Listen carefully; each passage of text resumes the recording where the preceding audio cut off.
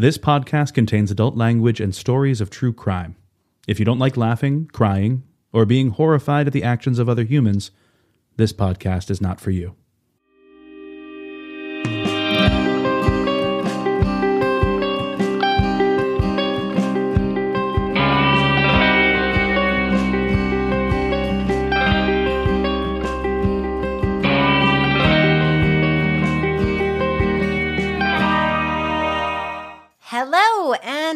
Welcome to season four, episode 11, part two of Resolved Mysteries.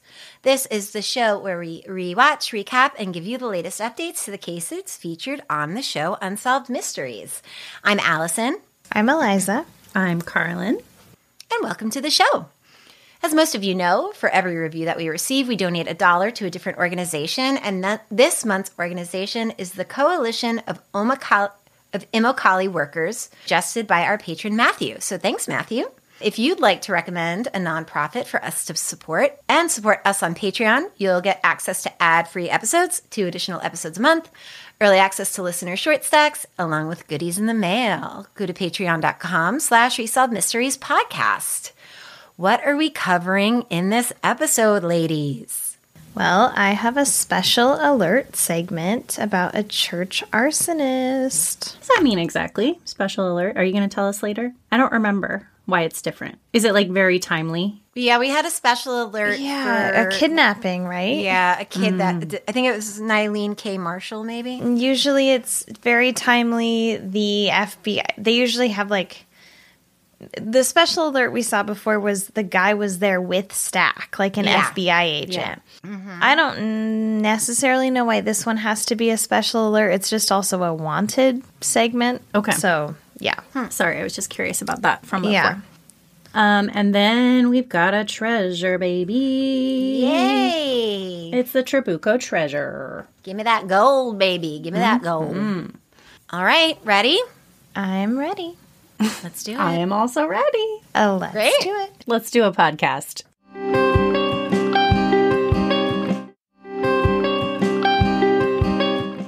All right. So Karlin asked the very wonderful question why is it a special alert?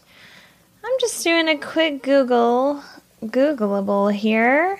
Special alert, unsolved mysteries. Just a second. Because I think there is something. Well, yeah, like with the other one, it was kind of like this happened very recently. So Yeah. we're letting you know. Yeah. the little girl had just gone missing. Mm-hmm. It's just like some of them could also be classified special alerts too, I feel like, and they're Yeah. not. Yeah. I don't know. True. Like sometimes it's just happened. I don't know. Okay. So this is the case of a church arsonist in Florida. So Stack tells us that police are searching for the person responsible for more than 26 church arson fires throughout Florida. Crazy. a That's a lot. lot. It is a lot. Uh, we see a very high tech graphic of good old Florida with little fire, basically the fire emoji all over it, which we'll post. Like what Oregon's map looked like last summer. Exactly. And so these fires started in July of 1990 in Jackson County, and by February 1991, 11 churches had been hit. By June, the total was up to 15. Um, then they stopped until October 24th of 1991 when the arsonist attacked the First Baptist Church in Ocala. And then literally in 7 days, seven more churches were burned. That is terrible and terrifying if you're a parishioner or if you're the person in charge of the church. Yes. There must have been um, people sitting up all night. Yes. Mm-hmm. So damage estimates were around 8 to 10 million dollars. Wow. It's so much money. And yeah, I mean, I am not a churchgoer, but I think for a lot of people, these places are their community, mm-hmm. and hopefully, churches are doing what they should be doing and helping others. And we do see a talking head, Pastor R.L. Renfro, who's part of the Gainesville Ministerial Association, and he says, Quote, churches like ours like to stay open and offer people a place to meditate or pray and be mm-hmm. involved 24 hours a day. But it's gotten to a point where we can't leave our doors open. We're mm-hmm. having to guard the church. And like you were saying, Allison, I read later that in some churches in the area, people were sleeping on the pews to protect their church at night. Gosh, which is also very dangerous. Dangerous. It's very dangerous because when you see the rubble um, and the aftermath of the fires, they it literally looks like ground zero of 9-11 like i could not believe the footage. It was some of them were so burned everything completely gone all the way to the ground. Um, so really sad. bad. Yeah so it is dangerous for sure. So stack says that fortunately which this is amazing no one had been killed or injured in any of the fires. Wow. So, after the fires in October 1991, a police task force was set up comprised of federal, state, and local investigators. In November 1991, the Westwood Hills Church of God in Gainesville was set on fire. Fortunately, no one has been killed or seriously injured during the fires, and the arsonist remains at large.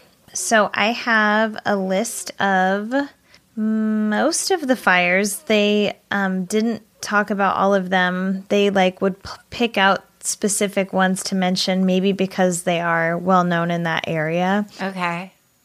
but the ones so i'll tell you about who did it but the ones in florida were january 21st this is all 1991 for the florida ones holy trinity episcopal in gainesville January 21st, same night, North Central Baptist in Gainesville. Wow.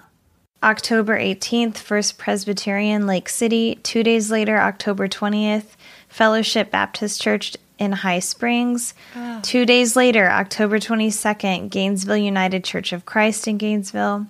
Two days later, October 21st, First, First Baptist Church in Ocala and First Presbyterian in Ocala. Same night. Next night, First Lutheran Church in Gainesville. November 2nd, Cypress Cathedral. November 2nd, First Church of Christ Scientists. Those are both in Winter Haven. Wow. Two more on November 7th, First Church of Christ Scientist in St. Augustine and McDowell Baptist in St. Augustine. Next night, First Baptist Church, Jacksonville Beach. then November 11th, three nights later, Westwood Hills Church of God, which I mentioned in Gainesville. And then the next night, St. Augustine Catholic Church in Gainesville. Ugh. Wow. When they hit, it's really close together, and that Yeah. is so scary. It has to be more than one person. It can't just be one person, right? Running around, getting. yeah, all all literally all over Florida when you look at the map. So we get a little update, not a lot of information, um, but what UM tells us is that the one person, one arsonist named Patrick Lee Frank, who was a drifter from Tennessee, was responsible for all of the arsons after he was arrested for loitering. And I think after he was arrested for loitering, literally November 13th, so the day after mm-hmm. that last fire, he's arrested for loitering and I'm get I think he seemed real weird and they start questioning him and he confesses to setting the fires. Wow. I mean, I just wonder how they got there. Well, this man is very unwell Okay. and he targeted churches people believe um, because he had been sexually abused by a church member as a child. Oh, no. but then he also claimed to hear demons um, in his head. In he as then they look into his records in the late 70s he told doctors that cuban spies followed him constantly and then in 1987 he was telling a social worker that voices were instruct- instructing him to bite off his fingers and to kill himself Oh, goodness. Oh, so is he like schizophrenic? Yeah, so How he had is been. he able to move through these towns? Well, like that's that, what I was going to say. Like, we can always assume somebody who does this kind of thing is unwell, but that type of unwell, it's hard to go undetected Yeah. yeah, it's weird. for that long and do that For many that long. crimes. so many. Because the churches knew that this was happening. They must have been on high alert. And if he's acting that bizarre, Mm-hmm. how are they not seeing him if they're on high alert? It's wild. Oh my goodness. So once he confesses, then of course the number is like 50 churches, which they're saying is in Tennessee and Florida. He's only charged with 15 of them, but there's as many as 50, officials say. Oh my god. So, oh, sorry. One one article. This case is not like very well covered, um, but one of the articles said he's charged with setting 16 church fi- fires in Florida and four in Tennessee. But again, that's not all of Yeah. them that happened around that area. Right. So in 1995, I found a Tampa Bay Times article. And so before 1995, he had been um, found not guilty by reason of insanity in like 1993 or something. Okay. I mean, that makes sense. Right? Yeah. So then this 1995 article says a man who burned as many as 17 churches in Florida will be moved from a Missouri prison. I don't know why he was in Missouri Weird. To a less secure residential facility in Louisiana. So he's found not guilty by reason of insanity, but I think he, so. Then I think he was in, maybe he's in Missouri because the pris- that prison was specifically for Oh, inmates okay. like that, but it's not quite a mental hospital. It's not quite a facility. I don't Okay. know. The article says a compliant attitude and improvements in his medical condition have earned Patrick Lee Frank a new home. Frank, who's 46 and 95, continues to suffer from the incurable mental disorder that drove him to burn the churches in Florida. The hmm. Tennessee drifter was found innocent by reason of insanity and sent to a federal prison hospital in Springfield, Missouri. Okay. But then he's there for two years. That's crazy. Paul asked questions of psychologist William R. Carter and Melissa Stoll, a social worker who's helped place Frank at St. Martin de Porres. Paul is the judge, um, so the judge asked questions of the psychologist and the social worker. Security at the facility, management of Frank's medication, his access to incendiary materials, and his medical progress were the main topics. Frank appeared at times to fall asleep during the proceedings. Oh, no. He's so medicated. Yeah, so he appeared to fall asleep. A paranoid schizophrenic, he will probably be under some type of controlled supervision for the rest of his life. He uh, suffered from hallucinations and also abused drugs like LSD, cocaine, and marijuana. He tried to hang himself. I read that um, it's really horrible. He tied um, the sheet around his neck and then was tied it to the top railing and was going to jump off, Oh, my God. but inmates stopped him. Um, oh, it's terrible. So, but because Frank had been complying with taking his medication and going to counseling, they he was able to be moved to this other facility. So then I cannot find anything else except that fandom says that he was institutionalized for 15 years and released in 2008. So Oh, this wow. person is out. In 1991, he was 41, so he would be 71 today.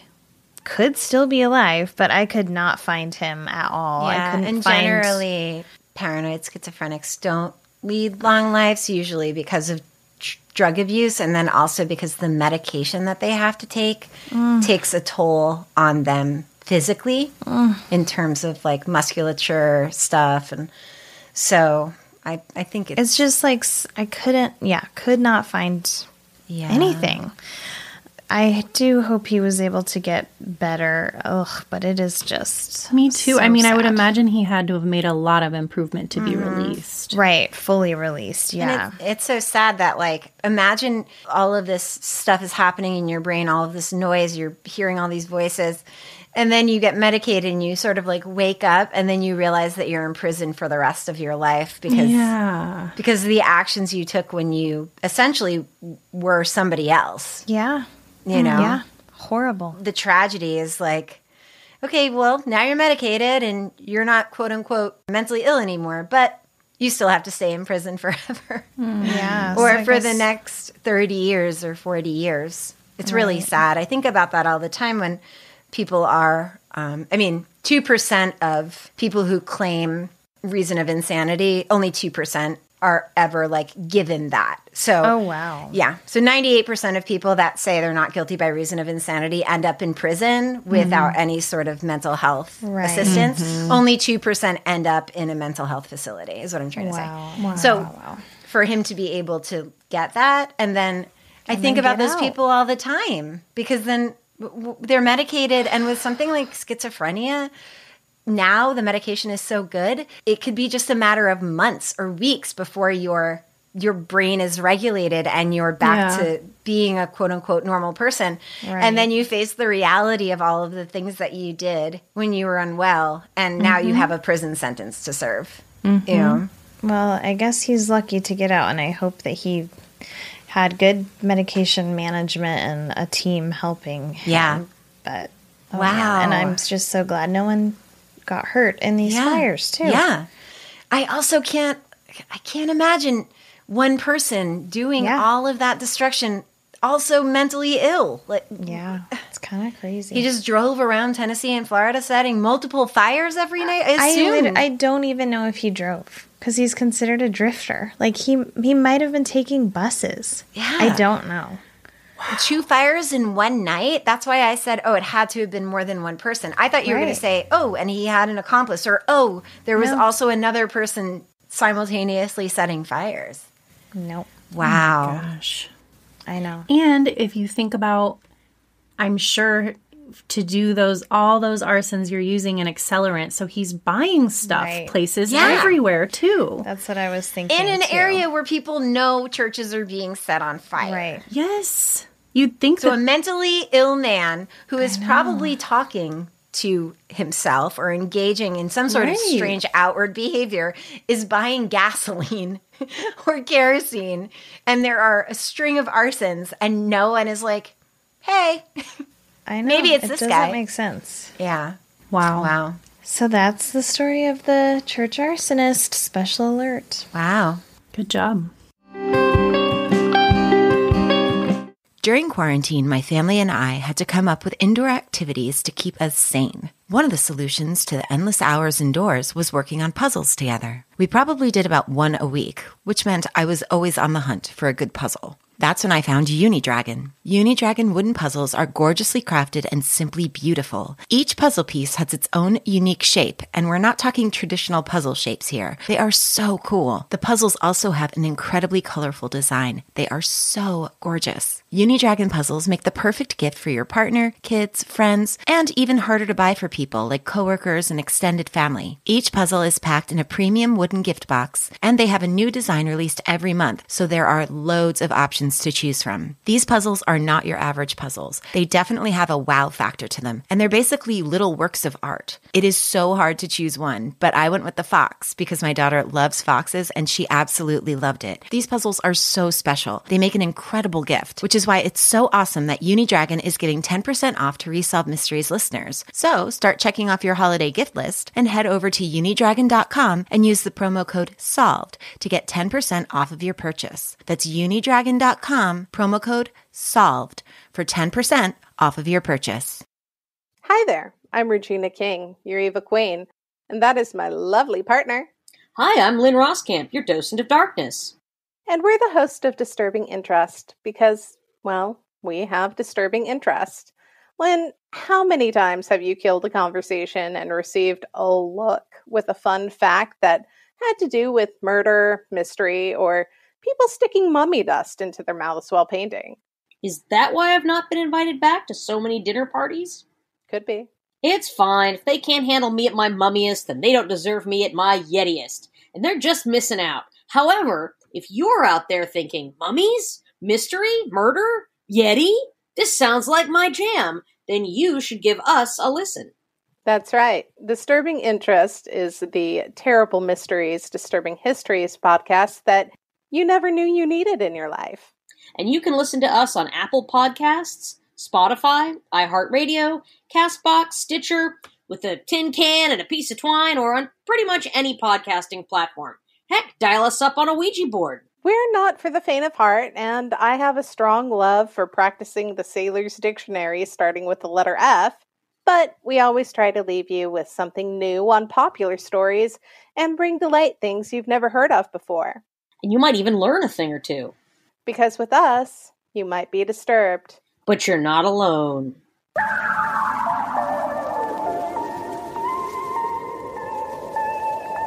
What are we even talking about when we talk about true crime? I'm Rebecca Sebastian, host of the weekly interview format podcast Dialogue, a true crime conversation. Join me every Wednesday for a new conversation about justice, We live in a post truth society where justice is elusive. mystery, all of a sudden he was startled awake and he couldn't remember having heard the sound, but he remembered the feeling of having heard a sound. crime, It's the number one thing victims of crime say afterward is, I knew not to get in the elevator with that guy, open the door to my apartment, walk across that dark street. cults, ask to be branded, ask to be held down and say, Master, you know, please brand me. It would be an honor for the rest of my life. culture, and more. This system is so ingrained and in so many facets of society. We're talking about the criminal legal system, but it goes far beyond that because this is something that's just really in the consciousness of everyone. And once a month, we'll be shaking it up and lightening it up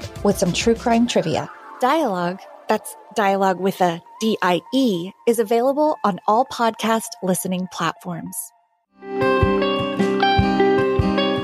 Okay. So the Trabuco treasure. Um, we have some native flute playing going on. Question mark? Pan, pan flute? Yeah, something. And Stack describing the American Southwest as immense, desolate, and nearly uninhabitable. But Eliza was just there, so I don't I think so, Mr. Stack. I lived She lived to the tell the tale. Quote, vast horizons where one can be alone and observe, where secrets can be hidden amongst the sand, sage, and chaparral. Whoa. In 1933, just north, north of Farmington, New Mexico, in the summer, a daredevil pilot named Red Moj- Moisier made several mysterious flights into the desert, where he was met by a Mexican millionaire named Leon Trabuco. And the reenactment shows Trabuco in that full white suit with white fedora and white cane. And he is stoking a fire in the desert as a plane descends, and it's just like kind of an amazing sight. Love it. Um, Stack says 19 years later, the secrets of the enigmatic and elusive Trabuco would begin to unravel. In 1952, a federal grand jury was brought together after investigations by the United States Treasury and the Secret Service. It's alleged that Leon Trabuco and four other financiers had a plot to buy up much of Mexico's gold reserves and sell it in the U.S. Um, and as an aside, um, on Amazon Prime, the Film Rise segments are all named. And this one was called Mucho Oro, which just means a lot of gold. so Stack says the scheme was conceived at the height of the Great Depression and born from a conspiracy of greed. By spring of 1933, Trabuco and his associates were convinced that the U.S. would soon devalue the dollar, which would make gold prices skyrocket. But the operation was risky. Their gold would have to be smuggled into the US, and if caught, the conspirators would face long prison terms. So they had a makeshift foundry in Puebla, Mexico, where the gold was melted down and cast into ingots. And I definitely had to look up what's an ingot, and it's just blocks or bars of metal. So the most obvious form of gold. I guess, could just yeah. said bars. Gold bars? Yeah. In less than three months, they had amassed 16 tons of solid gold. Oh my god.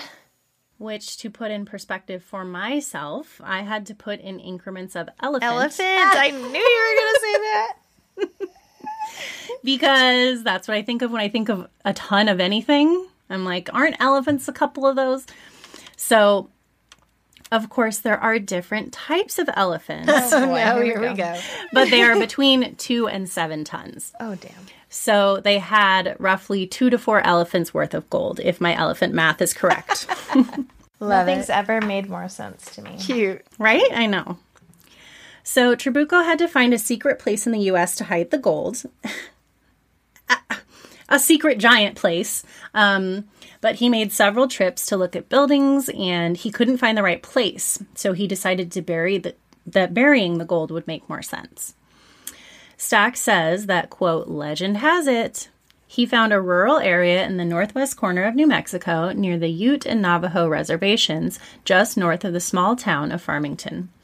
Red Moisure allegedly made 16 flights carrying about one ton per trip. Wow. Which is a very small plane, and I'm very concerned about Same. a ton of gold being on it. That's exactly what I thought. Are you concerned for their very wealthy safety? yeah. They fine. They're very wealthy criminal safety. Every delivery would be picked up by a pickup truck and taken to the secret location.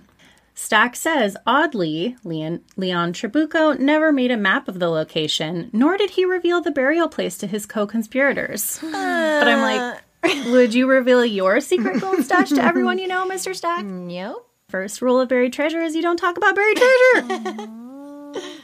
so, records show the final shipment was delivered July 14th, 1933, and six and a half months later, the Gold Reserve Act of 1943 became law. So, that essentially meant you could not, you just couldn't own gold. You couldn't have fucking gold bars That's so weird. in your possession. Is that still a thing? No. Um, I think I read something about it wasn't, but it was like a long time until it wasn't. huh. Weird. So the price of gold then skyrocketed, and the conspirators made a cool seven milli overnight. But these gold schemers were feeling themselves, honey.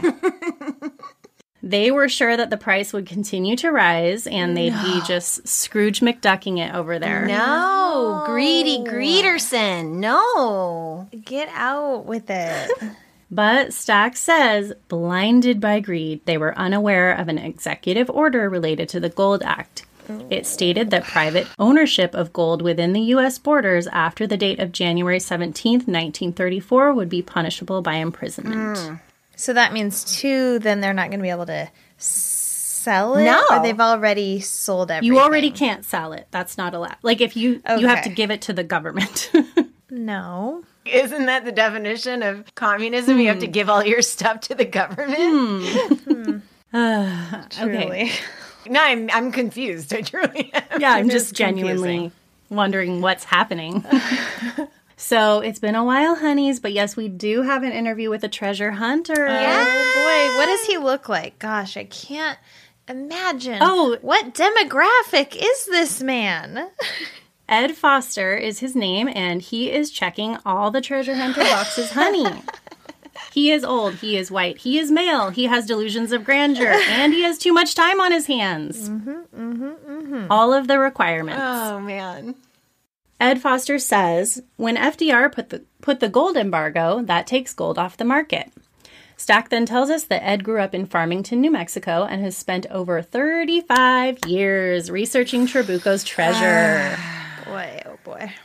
But I do kind of like Ed Foster. Um, he tells it like it is, and he says that what embargo meant was that it was illegal to sell gold. He says, and so consequently, these five men, financiers from Mexico City, they had 20 tons of junk. Yeah. It was not worth a dime because they couldn't sell it for anything. True. Stack tells us that within five years, three of the conspirators met with untimely deaths. So Leon Trabuco hit the road with his gold and spent 20 years traveling, quote, in a vain attempt to sell the illegal treasure.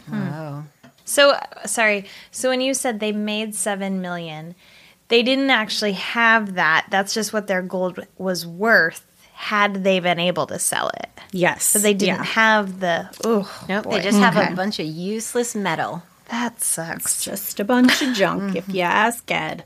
In 1952, Trabuco tried to make a deal with U.S. government officials, prompting the grand jury investigation mentioned at the top of the segment. But Trabuco was never indicted. And as in every treasure segment, honeys, he just died a few years later, taking the secret location of the gold to his grave. um, but obviously, this is where Ed Foster takes over with his treasure hunting. So Stack tells us that he is convinced he's found the landing strip that Red Moisure used in 1933. Okay. It's a seven mile long plateau called Conger Mesa. Ed Foster then ensures we know he's an old white guy by saying, I met this Indian lady that couldn't speak English. So I got an interpreter. Oh, no. Ed says she told him she'd seen the plane land there many times. Ed says he spoke to another Navajo woman who was six years old in 1933. She said that she remembered several Mexican men who lived on the reservation. Ed Foster tells us that would be very unusual for Mexican men to move there, and for a Spanish or white man to move there would be unheard of. 20 miles west of Conger Mesa, near an abandoned Navajo home, is a building completely different from any other on the reservation. So they show this on UM, and the difference Yeah. of the Navajo home is so the Navajo homes are kind of this small stone dome. But this building, it was made of stone, but it was square shaped, um, and it was more of a Mexican style home. Okay. So Foster goes on to tell us why it's different. It had windows, a front and back door, and a veranda.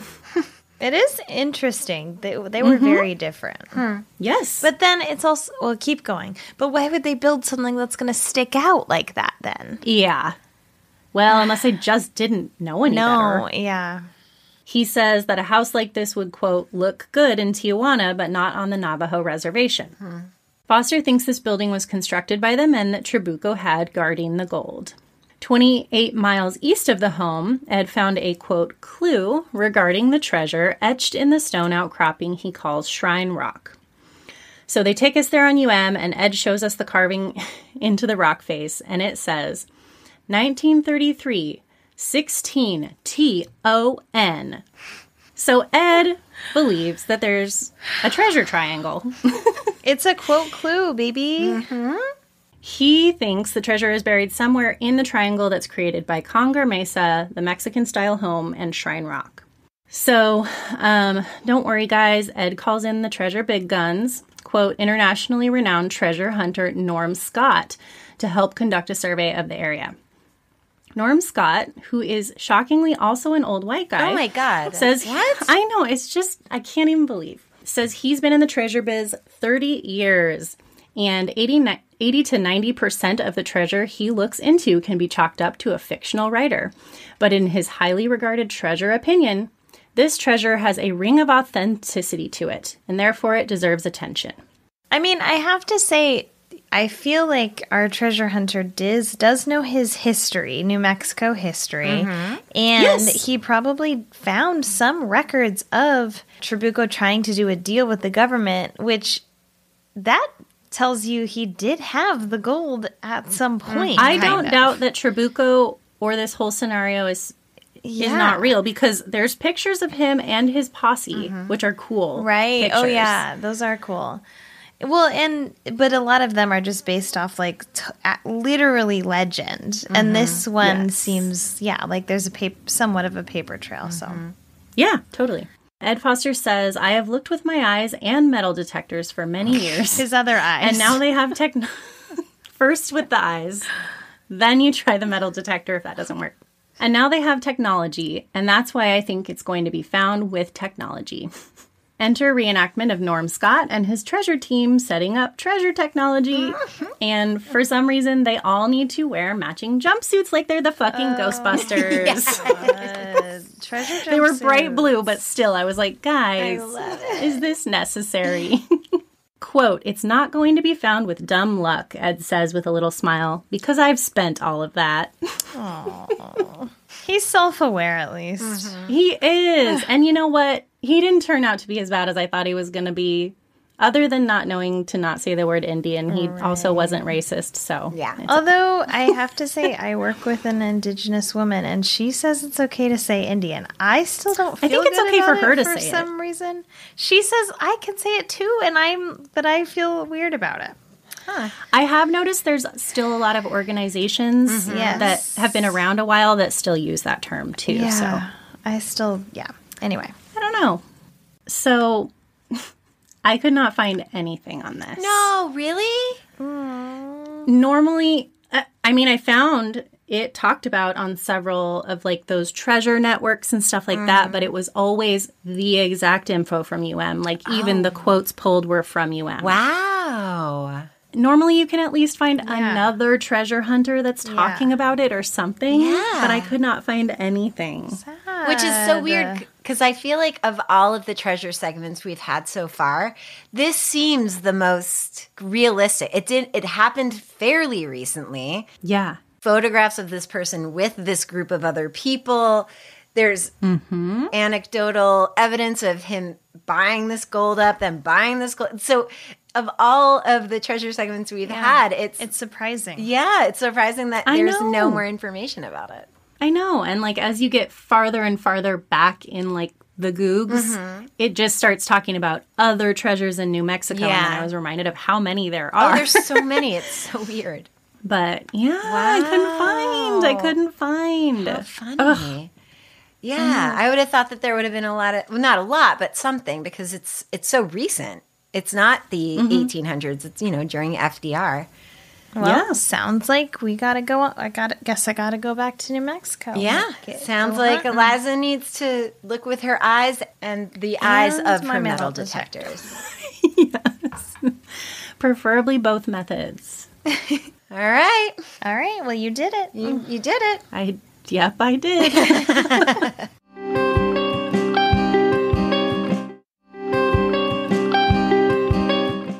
All right. So things to share and feel, friends. Allison, Uh, yeah, I got a show. do it. I always got a show. Well, we spoke about this, I think, briefly on another episode, but I'm not sure if it was an official Sharesy Feelsy. So I'm officially sharing it and feeling it. Uh, it's the show Hacks on HBO, starring Jean Smart, who is a queen and is finally getting her recompense. She's an amazing actress. She's been around forever, and she plays a famous female comedian who has a long run um, on Vegas. And her, the owner of the casino that she works for is trying to replace her. So she is trying to come up with some new jokes, and she hires a young writer um, who I do not know who she is. Uh, my partner said that she was on a couple episodes of The Daily Show, she but um She's a she's a famous person's daughter.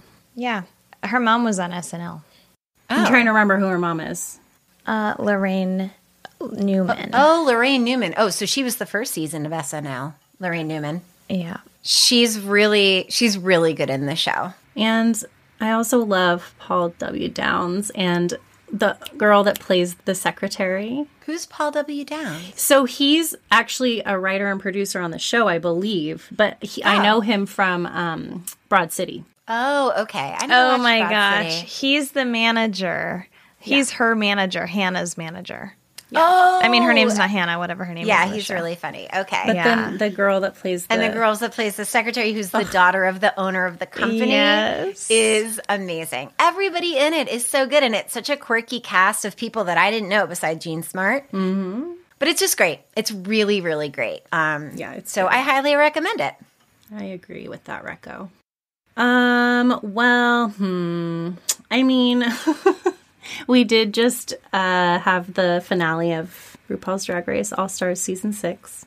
Oh, I saw a little congratulation post from my friend. Yes, I was it. holding off because I wanted to give people a couple days and not have any spoiler alerts.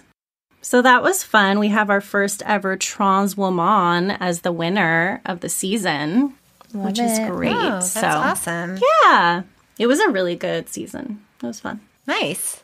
Love it. Um, well, we talk. Uh, one of us has to rep- recommend a Wondery podcast every show. That's just We must. It's the law. what we do. And I'm going to recommend Suspects. Ooh. It's um, very well done about a murder that takes place outside of Seattle and a man who's a black man who's maybe not the person that did it. but the person charged.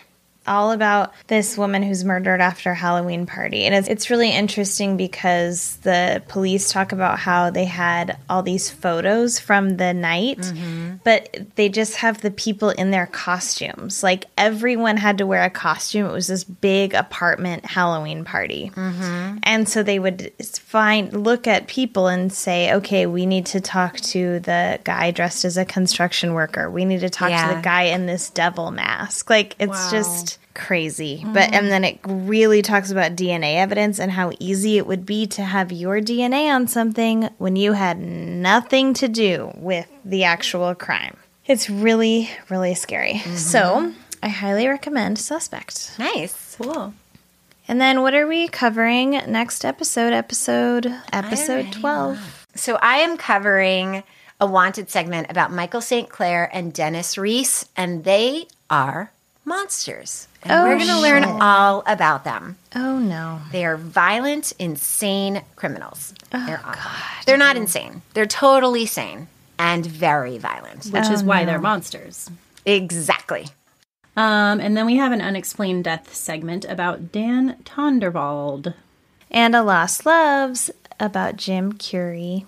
And we'll see you next week for that. Uh, don't forget, if you like the show, it really helps us if you leave a review and a rating, a five star rating. We have a review to read from Canada. We know it's from Canada because they spell favorite with an OU, honey. they say, My new favorite podcast. My only disappointment is that I have now caught up and will have to wait for new episodes. Allison, Eliza, and Karlin bring their great personalities and superior research skills to every episode. I love rewatching these old episodes of Unsolved Mysteries and then listening to their update on every story. I even rewatch and listen to the mysterious legends and ghost segments because I know they will somehow make them interesting. We try. And that was from Canadian Tree Frog. Thank you. Thank you. Thanks, little froggy. I never thought we'd have a tree frog listening to us. I hope you're not endangered. So that's one way to support the show, and we might even read your review on an episode.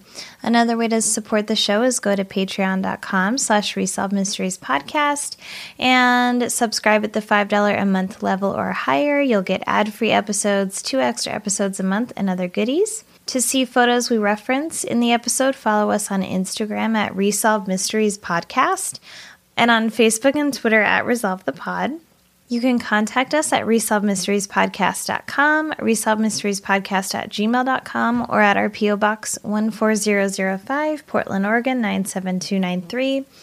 Send us to some of those places your stories for listener short stack episodes so that we can read them and keep making those. You can send us anything you'd like to, and we'll most likely read it. Subscribe wherever you get your podcasts. Like I said, leave a five star review. For every review we receive, we're donating a dollar to the Coalition of Immokalee Workers. And oh my gosh, we love you.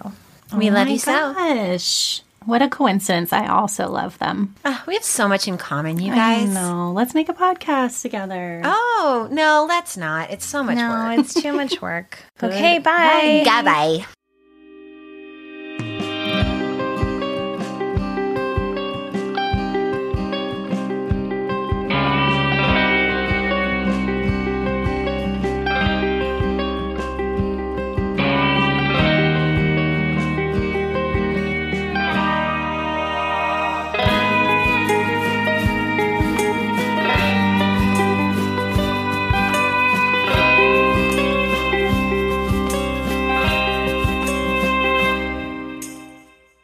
He found a rural area in the northwest corner of New Mexico near. What was that? What's that? You moving stuff? I'm not. Oh, no. Weird. Uh, what's that sound? I don't know. I don't hear anything. oh, You and I hear it? something's scraping. Weird.